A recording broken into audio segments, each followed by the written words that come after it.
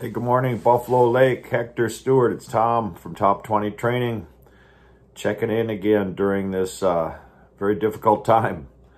Hope you're all okay. Hope everybody's safe. Hope you're enjoying your, your families and your times uh, together.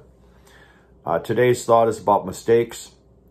We're checking in for advisory and talking about how mistakes can be lessons.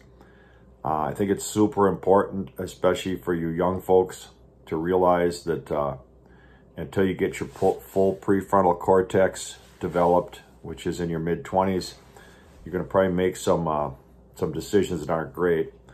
Just try to make new mistakes, not old ones. Try to make new mistakes, not old ones.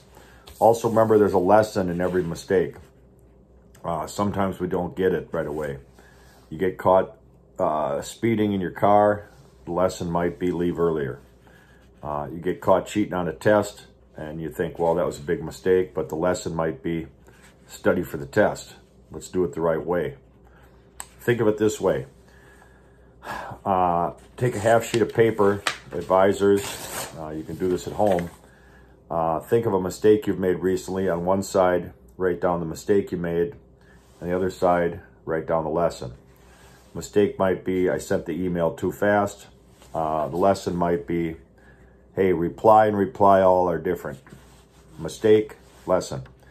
Now, the top 20 people will usually keep the uh, lesson and they'll throw away the mistake.